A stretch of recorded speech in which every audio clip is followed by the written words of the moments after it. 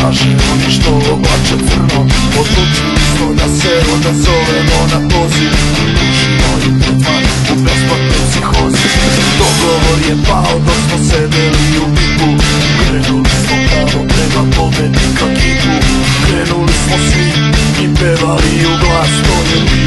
Jako davno, ali evo čak i danas. Ja se rado setim sumraka u onom lepo danu.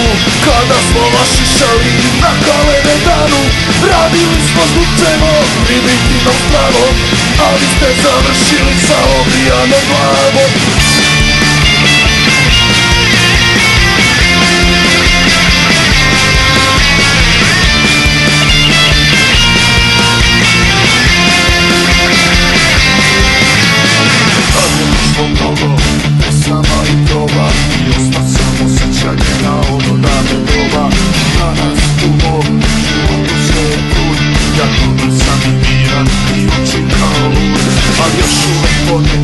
kad ostanem sam Ja slušam stare stvari, još uvek znam Tad otvorim pivo i pojačam tam Sve je bilo jako davno, ali evo čak i danas Ja se rado setim sumraka u onom lepom danu Kada smo vas šišali na kalene danu Radili smo zvučemo primitivnom spravom Ali ste završili sa obijanom glavom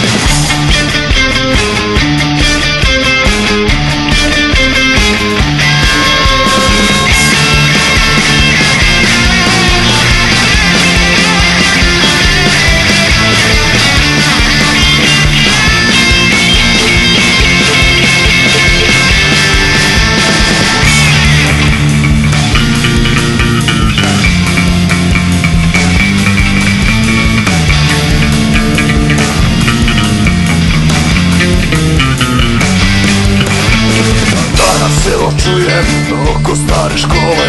Sada se kreću nove dijabole Danas su tamo neki novi klici I opet se crno da bi ispali gotici. Ali evo ovih dana do mene stiže glas. Ima oni što slušaju punk vojska Oni će da ih u red dovedu. Ja sam spokojan, bit će sve u redu. Biće ovih sumraka i biće novih dana Biće Zawieszania spotkały Lejdana Posadzić się mogą czemu? Lub prawu nie znam ona słowa. Ile